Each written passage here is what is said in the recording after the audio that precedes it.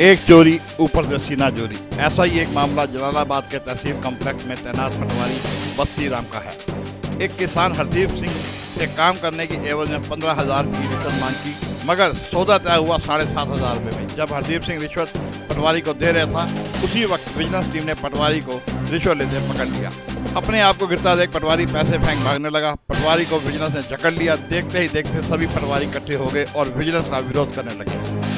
माहौल बिगड़ने लगा हालात को देखते हुए भारी पुलिस बल तैनात कर दिया गया और आरोपी तहसीलदार को विजिलेंस के हवाले कर दिया गया इस पूरे मामले में पुलिस और शिकायत करता क्या कहना है आइए सुनते हैं ਹਾਂ 9 ਕਿੱਲੇ ਜ਼ਮੀਨ ਮੇਰੇ ਨਾਲ ਸੀ ਹੂੰ। ਸਾਂਝੇ ਖਾਤੇ ਦੇ ਵਿੱਚ ਅੱਜ ਨਵੀਂ ਸਿਧਵਾ ਸੈਂਟਰ ਕੇਂਦਰ ਦੇ ਵਿੱਚ ਜਿਹੜੀ ਜਮ੍ਹਾਂਬੰਦੀ ਨਿਕਲਦੀ ਹੈ ਉਹਦੇ ਵਿੱਚ ਨੰਬਰ ਘੱਟ ਆ ਰਹੇ ਮਾਤਾ ਦੇ ਪੂਰੇ ਨਹੀਂ ਆ ਰਹੇ ਹੂੰ ਮੈਂ ਇਹਨਾਂ ਨੂੰ ਕਿਹਾ ਸੀ ਵੀ ਇੱਕ ਤਾਂ ਉਹ ਵੀ ਮਿਸ ਹੋਏ ਆ ਜਿਹੜੇ ਨੰਬਰ ਉਹ ਸਹੀ ਕਰ ਦਿਓ ਹੂੰ ਠੀਕ ਹੈ ਤੇ ਬਾਕੀ ਸਾਡੀ ਤਕਸੀਮ ਕਰ ਦਿਓ ਸਾਨੂੰ ਪਤਾ ਲੱਗ ਜੇ ਵੀ ਉਹਾਂ ਦੀ ਮੇਰੇ ਨੰਬਰ ਕਿਉਂ ਘਟਦੇ ਆ ਤੇ ਮੈਂ ਆਣਾ ਵੀ ਮੇਰੇ ਕਿਉਂ ਘਟਦੇ ਆ ਹੂੰ। ਠੀਕ ਹੈ ਜੀ ਇਸ ਚੀਜ਼ ਦੀ ਮੈਂ ਮੰਗ ਕੀਤੀ ਸੀ ਉਹਦੇ ਵਿੱਚ ਇਹਨਾਂ ਨੇ ਮੇਰੇ ਤੋਂ 7500 ਰੁਪਏ ਦੀ ਮੰਗ ਕੀਤੀ ਸੀ ਅੱਛਾ ਜੀ।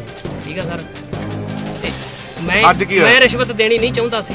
ਵੀ ਪੈਸੇ ਇਹ ਕਿੰਨੇ ਮੰਗ ਕੀਤੀ ਪੈਸੇ ਤੁਹਾਡੇ ਤੋਂ? ਇਹਨਾਂ ਨੇ 7500 ਦੀ ਮੰਗ ਕਿੰਨਾਂ ਨੇ? ਕੀਤੀ। ਪਟਵਾਰੀ ਬਸਤੀ ਰਾਮ ਪਟਵਾਰੀ ਬਸਤੀਆਂ ਅੱਛਾ ਜੀ ਫਿਰ ਉਸ ਤੋਂ ਬਾਅਦ ਕੀ ਹੋਇਆ? ਉਸ ਤੋਂ ਬਾਅਦ ਜੀ ਮੈਂ ਰਿਸ਼ਵਤ ਦੇਣੀ ਨਹੀਂ ਚਾਹੁੰਦਾ ਜੀ। ਸੀ ਮੈਂ ਇਹਨਾਂ ਨੂੰ ਝੂਠਾ ਲਾਰਾ ਲਾ ਕੇ ਜੀ। ਤੇ ਮੈਂ ਆਪਦਾ ਜੀ ਜੋ ਕਾਨੂੰਨੀ ਕਾਰਵਾਈ ਵਿਜੀਲੈਂਸ ਨੂੰ ਬਣਦੀ ਸੀ ਮੈਂ ਉਹ ਕੀਤੀ। ਜੀ। ਠੀਕ ਹੈ ਸਰ। ਰੰਗ- ਅੱਜ ਪੂਰਾ ਮੌ- ਮੌਕਾ ਕੀ ਹੈ ਅੱਜ ਕੀ ਹੈ ਅੱਜ ਸਰ ਮੈਂ ਆਇਆ। ਹੂੰ।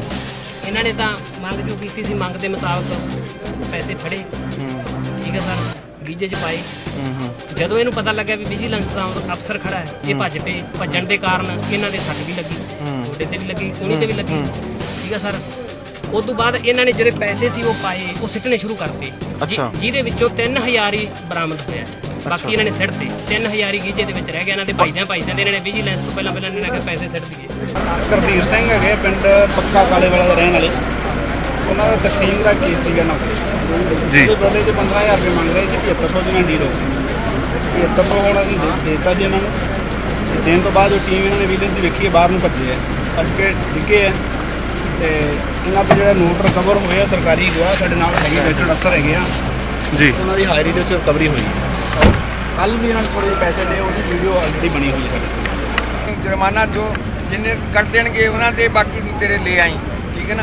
ਕੋਈ ਕੇਸ ਤਕਸੀਮ ਦਾ ਨਹੀਂ ਚੱਲਦਾ ਕਿਸੇ ਕਿਸਮ ਦਾ ਕੋਈ ਕੇਸ ਨਹੀਂ ਚੱਲਦਾ ਸਾਰਾ ਕੰਮ ਜਿਹੜਾ ਹੈਗਾ ਇੱਥੇ ਗੋਲਡੀ ਹੈ ਲੀਡਰ ਠੀਕ ਹੈ ਜੀ ਉਹਨਾਂ ਨੇ ਕਬਜ਼ਾ ਇੱਥੇ ਕੀਤਾ ਹੈ ਸੀਗਾ ਮੈਂ ਪਟਵਾਰੀ ਹਾਂ आपने सुना मगर असली फैसला अभी होना बाकी है आखिर इस पूरे मामले में सच क्या है फाजिलका से कैमरामैन सुरेंद्र के साथ इंद्रजीत सिंह की खास रिपोर्ट